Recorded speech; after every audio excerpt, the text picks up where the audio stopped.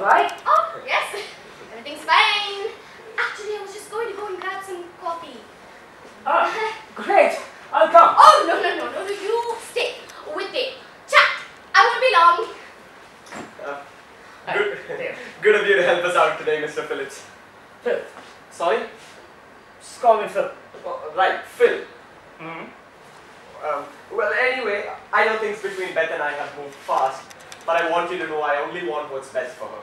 Good if you say so. Yeah, with that in mind, Phil, the box. Box? Uh, the box.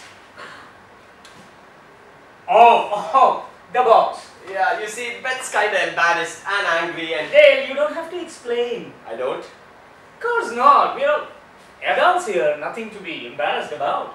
That's kinda what I'm getting at, Hey, Phil. you know This- how long I've been married? 32 years. Really? Yeah, it hasn't always been easy. A lot of ups and downs, a lot of insecurities. But uh, you know what gets us through?